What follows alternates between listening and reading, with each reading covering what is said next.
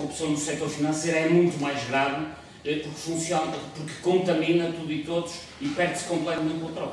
Neste momento, apesar de ser sábado, haverá eventualmente algum, algum local do mundo em que se estão a fazer operações financeiras que decorrem do facto do BES ser uma máquina de lavar do dinheiro eh, do petróleo angolano. E, portanto, nós não temos controle sobre isso. E, portanto, a corrupção que mete, que mete o setor financeiro é, eh, digamos, diferente da restante. Mas todos estes casos de corrupção, voltando ao meu discurso, eh, são eh, conhecidos.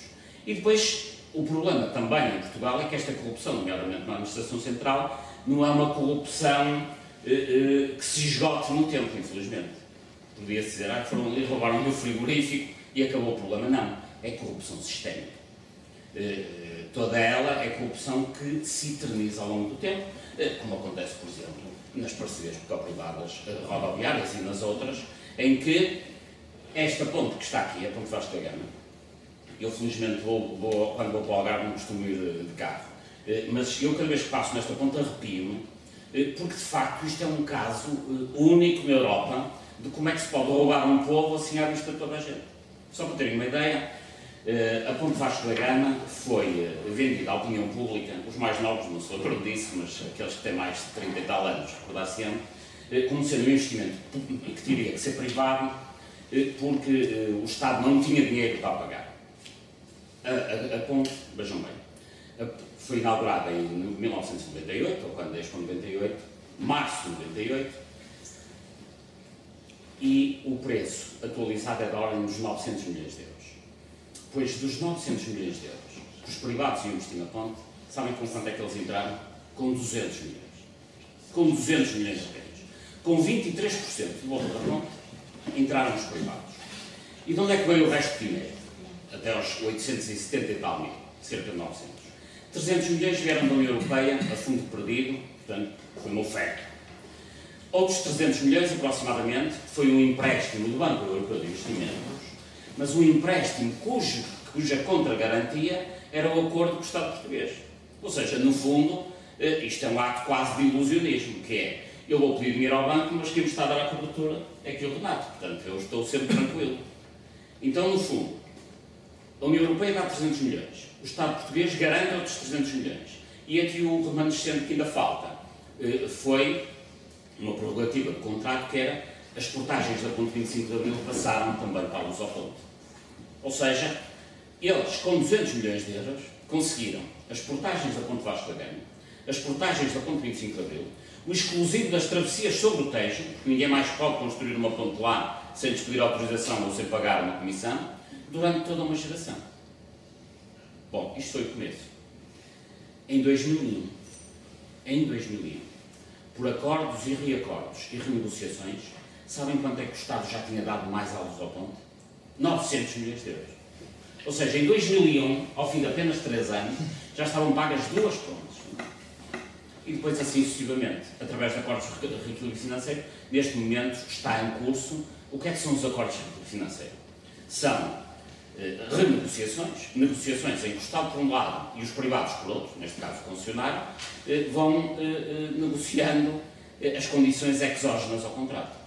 Da forma como a administração pública está capturada por estes interesses, é evidente que esta negociação não é mais do que cedência do Estado aos privados neste momento está-se no nono acordo de reequilíbrio financeiro.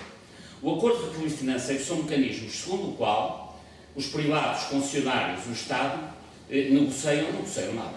O interesse público nem sequer está naquela mesa de negociações. A única coisa que está é o interesse privado. Então o Estado transfere mais dinheiro para os concessionários. Por isso, dizia eu, em 2001 já estavam pagas duas pontes. Hoje, 2014, eu já não sei quantas pontes é que o Estado já pagou e não sei quantas vezes. E continua a pagar através de um negócio feito entre o concessionário do Zotão, o Estado português, e cujos representantes ainda por cima são sempre os mesmos, porque os atores andam sempre de um lado para o outro, mas já lá. As parcerias público-privadas, e só para eh, dar a ideia de porque é que isto é sistémico, vão ter consequências nos orçamentos de Estado, seguramente nos próximos 30 anos. Portanto, alguns dos vossos filhos inéditos vão andar a trabalhar, a pagar IRS, a pagar IVA no, no, nos consumos que fazem, para dar dinheiro aos funcionários das PPPs.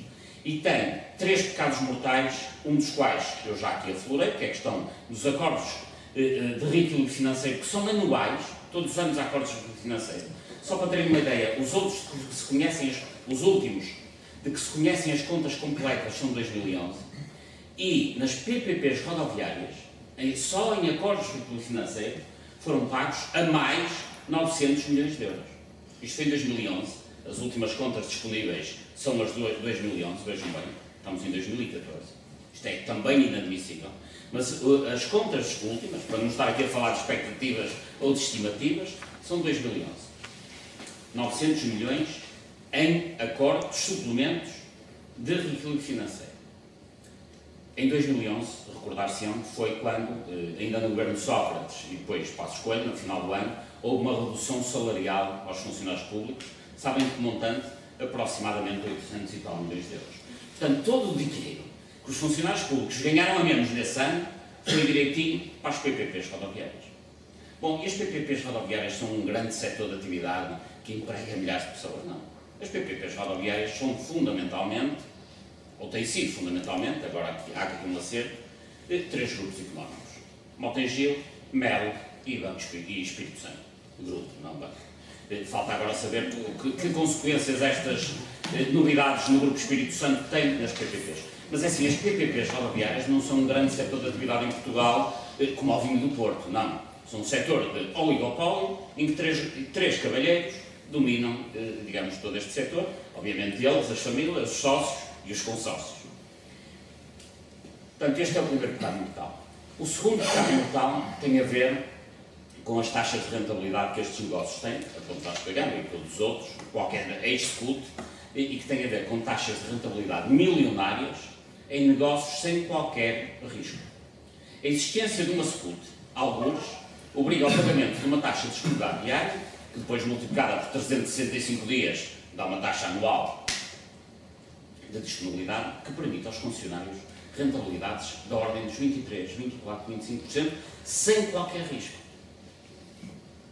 Isto é impensável. Aqueles que estão aqui na sala e que, já estudaram alguma vez economia ou finanças ou, ou têm qualquer negócio sabem perfeitamente que há sempre uma correlação forte entre o risco e, e o juro. Ou seja, risco elevado, taxas altas, risco baixo, taxas baixas.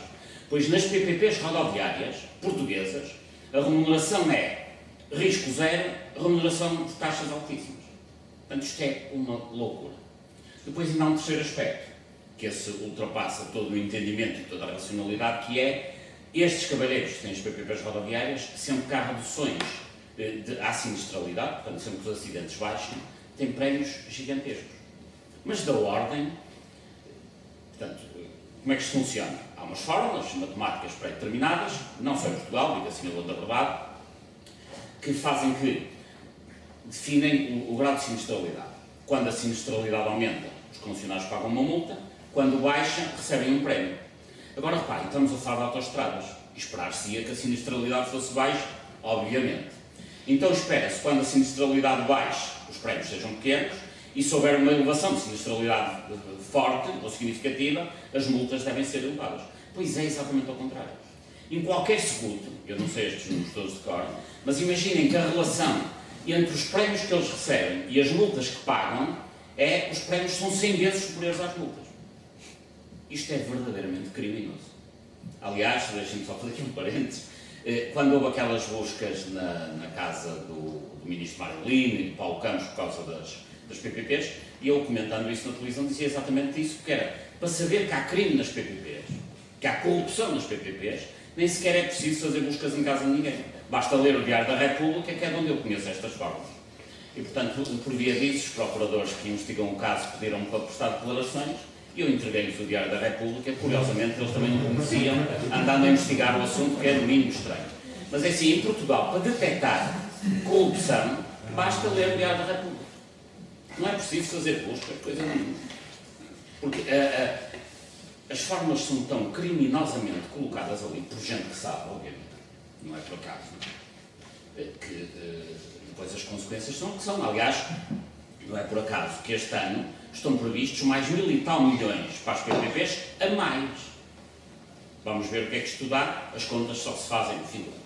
E, portanto, A corrupção é sistémica, ainda por cima, com a agravante que muitos destes contratos são completamente irregulares. E, no entanto, continuam a ser pagos, eh, porque há uma promiscuidade absoluta entre os atores que fazem as leis, os que mandam fazer os pagamentos e eh, os concessionários.